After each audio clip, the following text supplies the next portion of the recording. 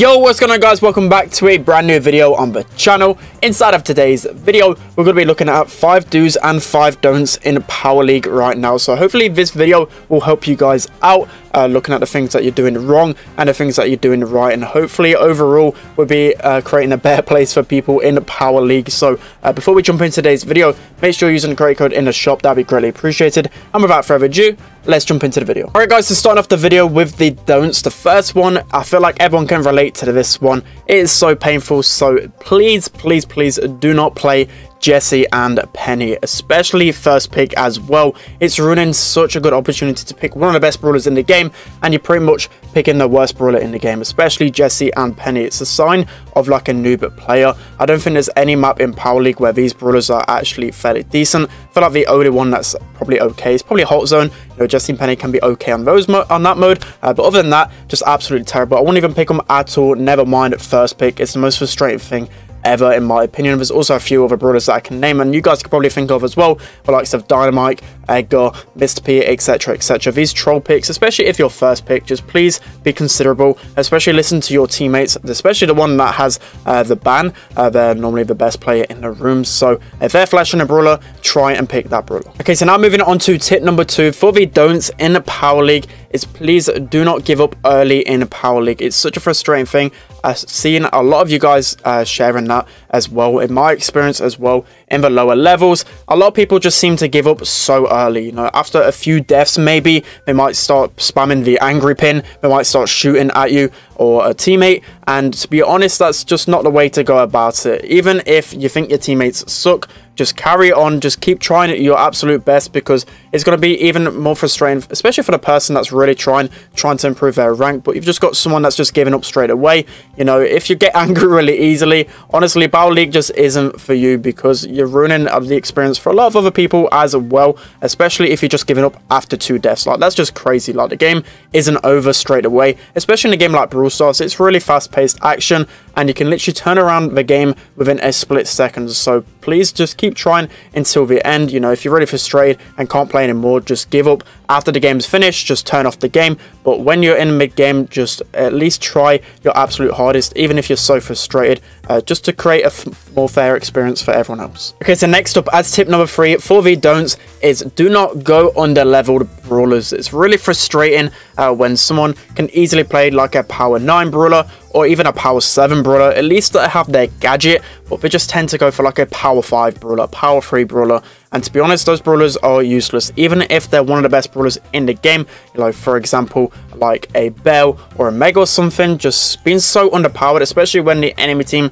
has like power 11s, power 10s, it's just a no-go. It's never going to work, let's be honest. Even if you're one of the best players in the game, it's just so hard to play uh, without the star powers, without the gears, and without that power being high. So please do not pick a low-level brawler. Okay, so next up at tip number four for the don'ts in the Power League, we have a mode specific one here. So I feel like this one, honestly, a lot of people should know already, but uh, it's very common in my opinion anyways, even in the very high ranks, a lot of people make the same mistakes. So for me, you've got to be really, really careful when you have the lead in bounties. So it's extremely important to not be super aggressive, especially when you've got the lead. In a game mode like Bounty, you can play extremely passive, let the enemy come towards you, especially if you've got the lead. They're the ones that are having to fight for that lead back, and it's going to be a lot easier to kill them if they're pushing into you. Of course, don't get pushed all the way back into your spawn. You need to relieve some pressure sometimes, uh, but for the most part, I still see people go really aggro on their own. You know, you're only up like, like, by like one star,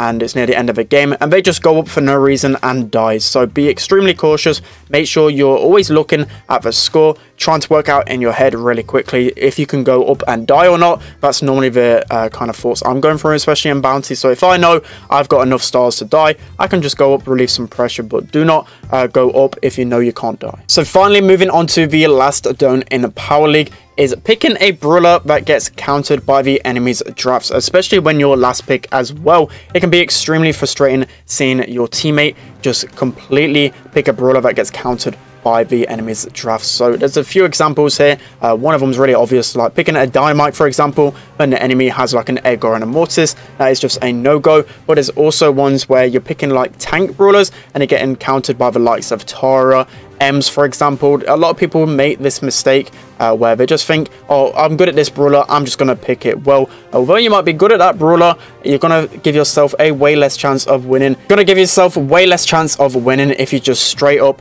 from the get-go give your, uh, the opponents the better draft uh, when you could easily just pick a counter pick and give your teammates a better chance of winning. Alright guys, so now moving on to the do's in Power League. So the number one tip for me, uh, especially in this meta, is going to be banning Grom near enough all of the time in Power League. So it doesn't really matter uh, what level you might think the enemies have. Even a low level powered Grom is just going to dominate. He's just so broken right now. And especially if the enemy has that first pick, no matter what, I feel like every single map in the game Grom is probably the best brawler in, so make sure you're 100% banning Grom no matter what if the enemy has that first pick. Although there might be a few other good brawlers, Grom's just too disgusting to deal with. He's just so uh, good right now in this meta. And also a side tip as well, uh, you might not want to ban Grom uh, if you've got first pick. Uh, a lot of the times I like to flash my Grom, you know, signifying that I've got a high level Grom. Uh, but if that low level Grom, make sure straight away that you're signifying to your teammates that he's low level uh, so you can potentially ban him anyway. Okay, so now moving on to tip number two for the do's in Power League. Uh, it's kind of generic one. It's one of the opposites to the don'ts, but still I feel like it needs to be uh, brought up because a lot of people still don't think of Power League like this. So in my opinion, you really need to be focusing on what the enemies pick, especially when you're one of the uh, last picks in Power League. You need to be trying to outpick and outcomp your opponents. So you want to try and analyze uh, what uh, brawlers have gone and in your mind from obviously your kind of experience in Brawl Stars and Power League, but also as well, well, I'll be uploading a guide to try and help you with this anyways in the next few days in terms of what are the best picks. Uh, but you always want to just try and outdraft your opponent. It's going to give yourself a much better chance to win. Sometimes the game is literally decided in the draft period, especially if you've got an insane combination. They've got a pretty trash one. Uh, literally that stage there in the first sector is going to win you the game. So it's really important to focus in that stage because uh, 9 times out of 10, I do think a good draft can win that game. Okay, so next up at tip number three, we have it trying to synergize as much as possible with your teammates' picks as well. So not only do you have to think about the enemy's picks and trying to counter, you really need to try and synergize with your teammates. So even if they've picked a really trash brawler, you know, you have to try and adapt to that. So if your teammate has picked a dynamite for whatever reason, you need to try and pick a counter to that dynamite pick. So the enemy is likely to go like an aggressive brawler to counter that dynamite, you have then got to adapt to it and then try and pick a counter to that counter. So I'm talking a lot about counters, but you probably get what I mean, right? You need to try and adapt. Uh, even again, if you're in the worst circumstances ever, you need to give yourself the best chance. So don't get frustrated too quickly. Make sure you're always trying to pick the best brawler. Okay, so next up as tip number four for the do's in Power League, we have flashing a brawler to try and signify to your teammates uh, to pick that brawler. So in the first stage of the ban period, uh, if your teammate is taking forever to ban, you want to be flashing a brawler that they need to ban. So for the most part, it's going to be Grom. Uh, but that's to how you kind of communicate in the higher levels anyways. There's no really like other way to communicate in the drafting period. Unfortunately there's not like a suggest button or even like a switch brawler stage uh, in the in the actual power league right now uh, but the only way is to flash. So some people kind of get confused with the communication. They like flash a brawler as if to say they're gonna go it, uh, but for the most part, you don't really want to be doing that, especially if someone's in front of you and they're ready to pick. You want to be flashing a brawler that they should pick. Uh, some people can get frustrated and think, oh, they've taken my brawler, but trust me, you want to be trying to signify to them uh, that they should be picking that brawler. So for the most part, if you're kind of stuck, uh, try and listen to the person that has the ban lead uh, so they have that crown above their head they're normally the highest uh, ranked player in the room uh, so obviously they're going to be a little bit more experienced for the most part, so you won't be trying to listen to them. But trust me, uh, make sure you're signifying to your teammates which brawler they should pick. Okay, and finally moving on to the fifth and final tip for the dudes in Power League. A bit of a generic one here,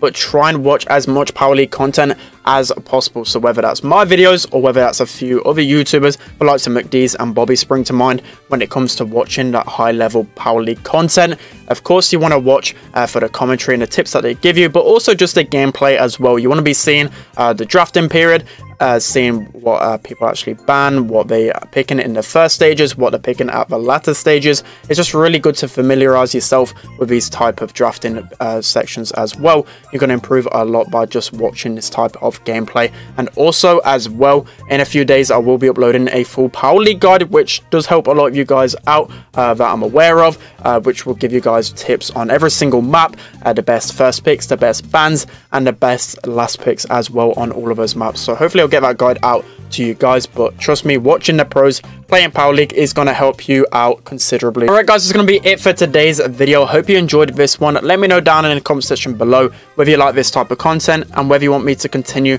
with these type of guide videos uh, because i really enjoy doing it. I want to help you guys improve as much as possible uh, so trust me just put it down in the comment section below and i'll be trying to do as many of them as possible. So yeah that's going to be it for today's video. Hope you enjoyed. Don't forget to like comment and subscribe and i'll see you guys next time